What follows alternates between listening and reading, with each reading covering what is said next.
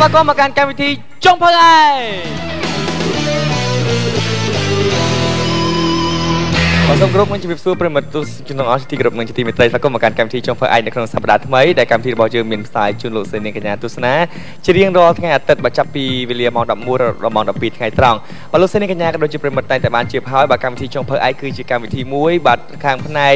បាទប្រកួតប្រជែងខាងផ្នែកចំអិនមុខម្ហូបបាទហើយបេក្ខជនក៏ដូចជាបេក្ខនារីរបស់យើងបាទគាត់បានចាក់ចេញបាទពីមួយសប្តាហ៍ទៅមួយសប្តាហ៍បាទអស់ជាច្រើនរូបហើយដោយឡែកនៅក្នុងសប្តាហ៍នេះក៏ដូចគ្នាដែលយើងនឹងធ្វើការជំរុះនៅបេក្ខជនក៏ដូចជាបេក្ខនារីបាទចាក់ចេញពីកម្មវិធីរបស់យើងជាបន្តទៀតបាទសម្រាប់បេក្ខជនក៏ដូចជាបេក្ខនារីរូបណាដែលគាត់ទទួលបាននៅពិន្ទុតិចជាងគេនៅក្នុងសប្តាហ៍នេះបាទហើយ កាលពីសប្តាហ៍មុនបាទលោកអ្នកបានជារួចហើយកម្មវិធីរបស់យើងបានធ្វើការបែងចែកនៅក្រុមដែលយើងនឹងធ្វើការប្រកួតបាត់ក្រុមទី1និងក្រុមទី2ហើយនៅក្នុងសប្តាហ៍នេះយើងបានជួបជាមួយនឹងវត្តមានរបស់ក្រុមទី2ដែលយើងមាន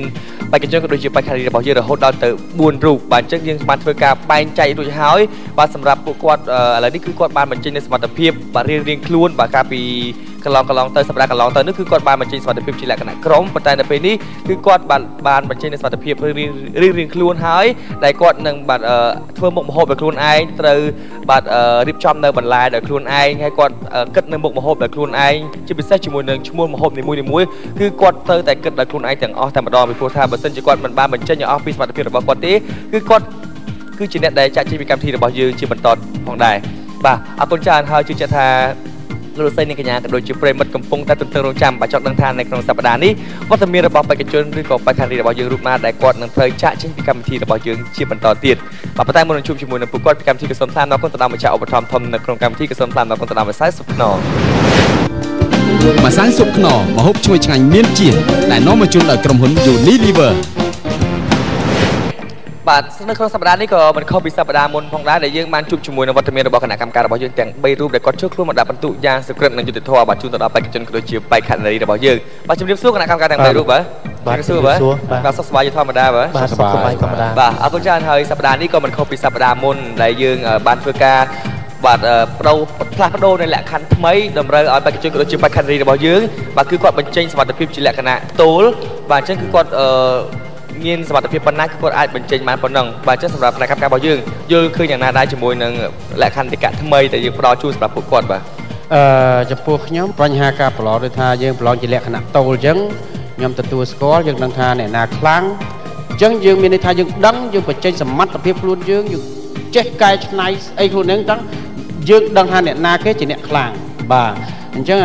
បញ្ហាការប្រឡងនេះយើងដឹងស្រាប់ហើយថា ពីមុនយើងលក្ខណៈក្រុម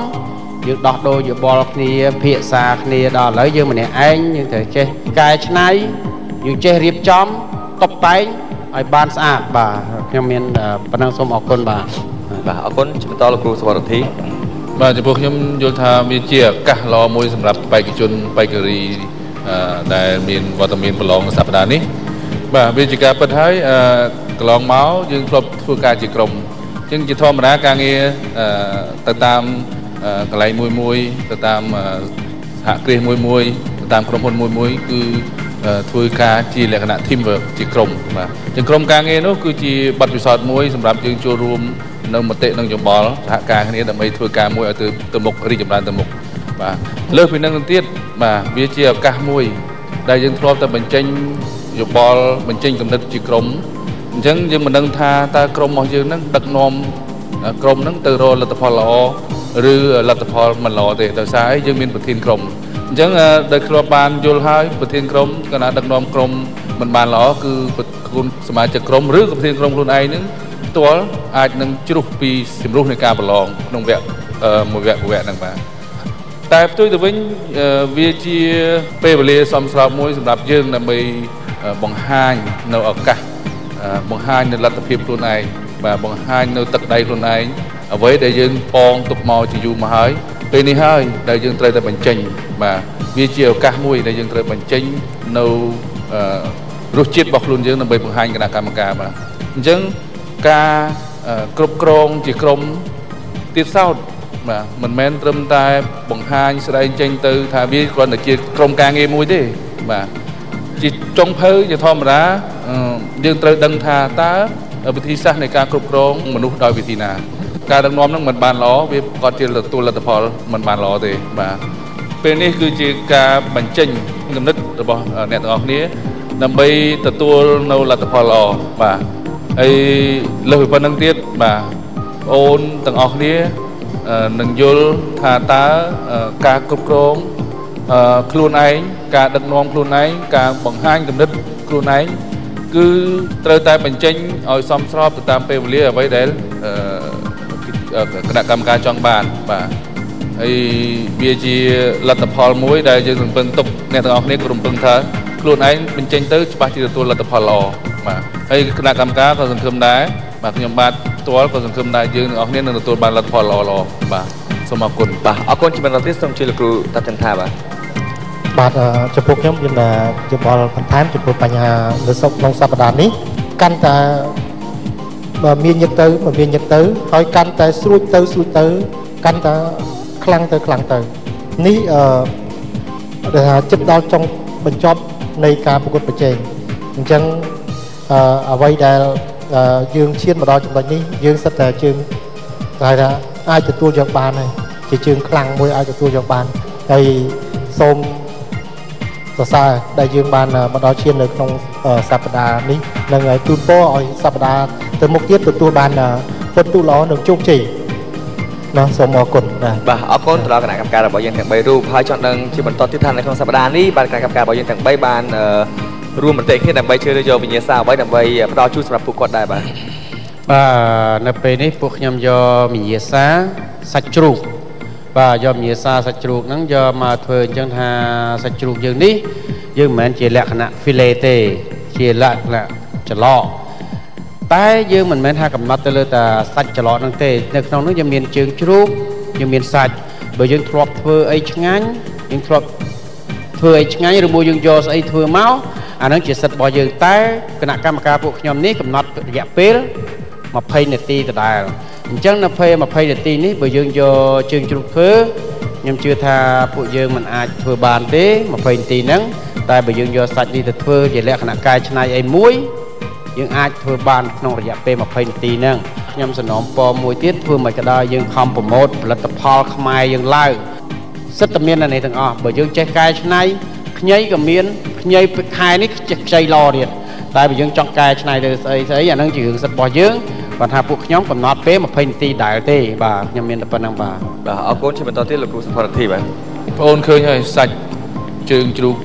សាច់ជ្រូកវាជាជើងជ្រូកមិនមែនជាសាច់ជ្រូកទេអញ្ចឹងការធ្វើការច្នៃប្រឌិតរបស់បងអូននេះបងអូនត្រូវដឹងថាពេលវេលារបស់បងអូនមានរយៈពេលប្រហែលតើគួរតកែច្នៃយ៉ាងម៉េចបាទដោយសារតែការកំណត់យកជើងជ្រូកមកនេះគឺដើម្បីចង់ដឹងថាបងអូន បញ្ចេញនៅសមត្ថភាពខ្លួនឯងបានកម្រិតណា បានជាគណៈកម្មការសម្រេចចិត្តដាក់ជើងជ្រូកឲ្យយើងទាំងដុំមកអញ្ចឹង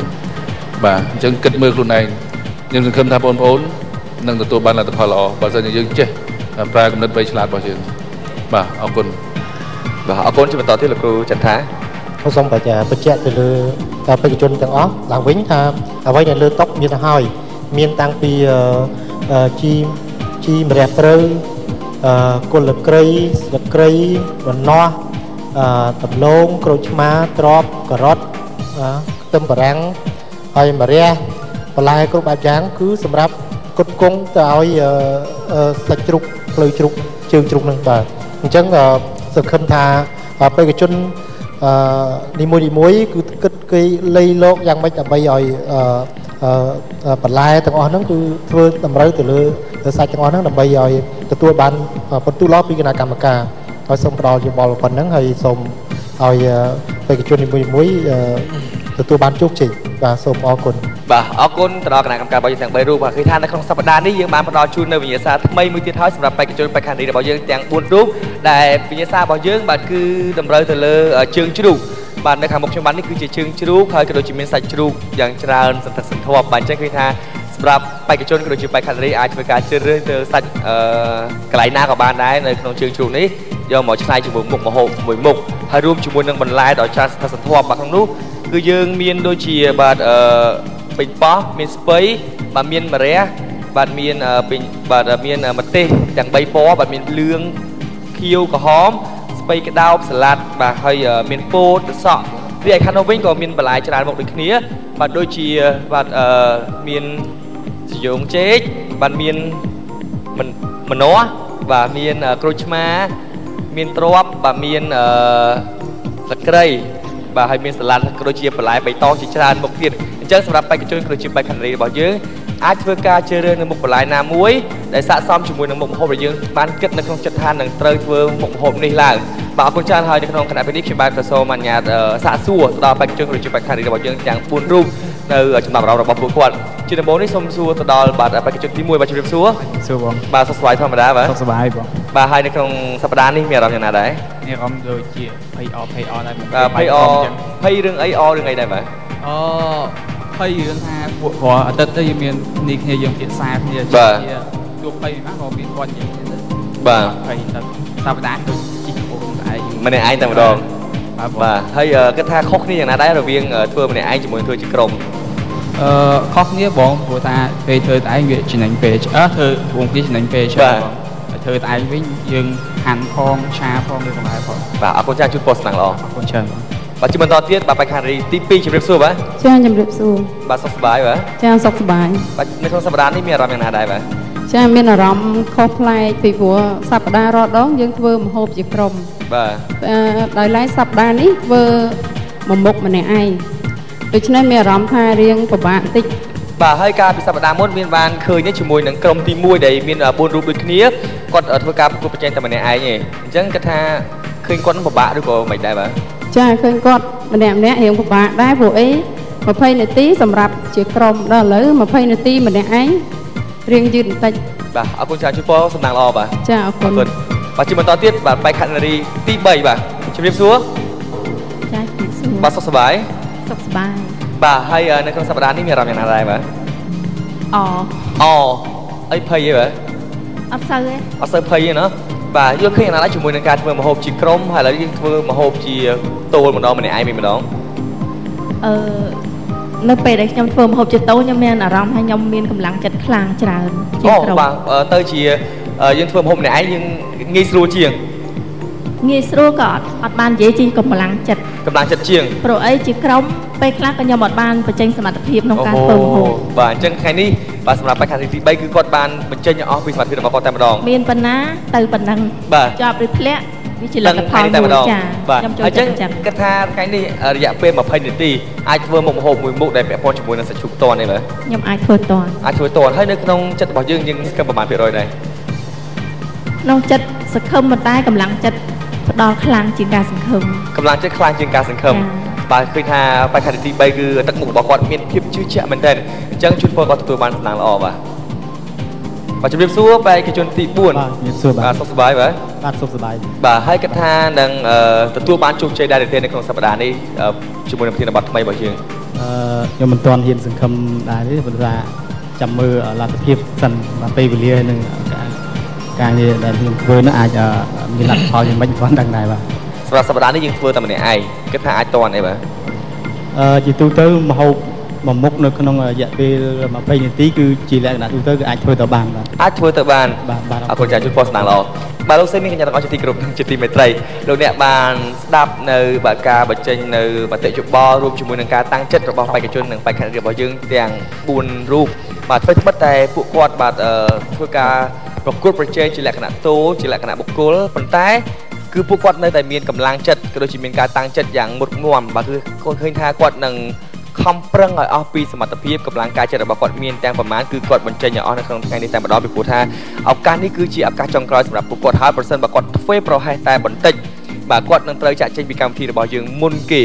ប៉ុន្តែបើសិនជាគាត់ព្យាយាមបន្ថែមគឺគាត់នឹងអាចបន្តនៅក្នុងកម្មវិធីរបស់យើងជាបន្តទៀតហើយគាត់នឹងអាចដណ្ដើមសិទ្ធិជាចុងភៅឯកប្រចាំឆ្នាំ2014នៅក្នុងកម្មវិធីរបស់យើងអញ្ចឹងគឺគាត់ត្រូវតែបញ្ចេញឲ្យអស់សមត្ថភាពនៅក្នុងវគ្គក្រោយលោកសេនីកញ្ញាក៏ដូចជាប្រិមិត្តនឹងបានឃើញនៅបាទសកម្មភាពរបស់ពួកគាត់នៅក្នុងការចម្អិនមុខម្ហូបសម្រាប់ពេលនេះពីកម្មវិធីក៏សូមអនុញ្ញាតសម្រាប់បន្តិចសិនបាទ